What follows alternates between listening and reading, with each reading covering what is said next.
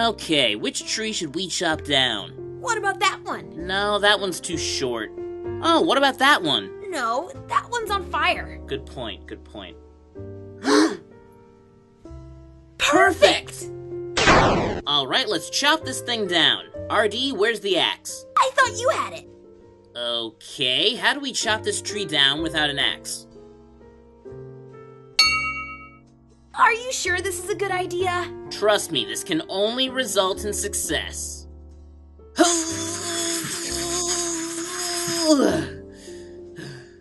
You do know what success means, right?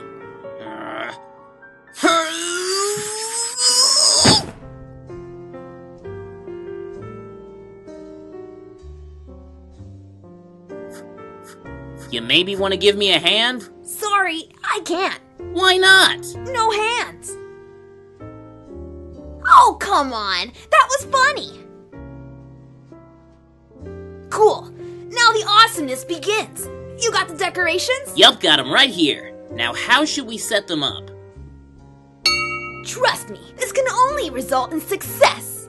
Well, this should be entertaining for me.